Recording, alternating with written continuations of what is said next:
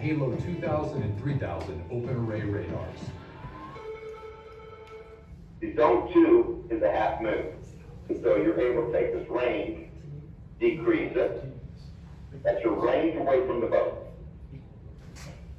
Now you're able to come into your depth, like we did before. We can make that a very slim figure, hmm. or we can increase it all the way to the boat. Again, 50 target that we in there. Bearings, of course. Now we can adjust this anywhere around our boat as it moves around.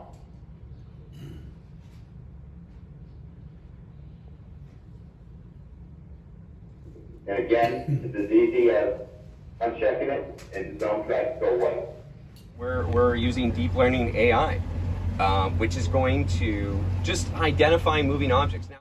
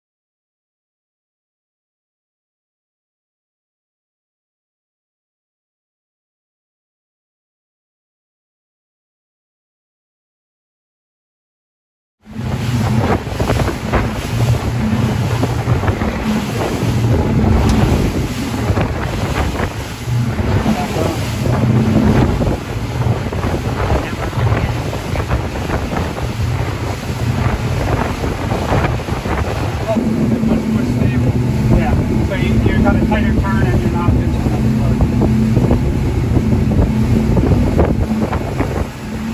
And the thing that's really cool is this standard helm seat. This is one of four choices, but this is definitely the one that I think most people will Wow. select. Uh, not only do you get that forward facing seat, but now you have this great social area here. There's an available table.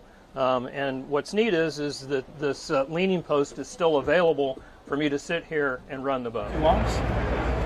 We have our auto trim that uh, Sean mentioned. This is the one that keeps the boat, the, trim level of the boat. We have the auto list, which takes care of the leaning of the boat. And we have the coordinated turn, where you can imagine that we are turning with the boat now, and this is an activation that we do. And then we have our uh, roll stabilization. This is where the boat Oh, is that- that- that- okay. So that's the That's yeah. the maximum. Yeah, That's that's, the what's maximum- stabilizing. maximum speed. That's Right, the stabilizer. right. Yeah. Uh, what you can always can do when you have uh, any of the automatic functions on, you can always do manual adjustments on this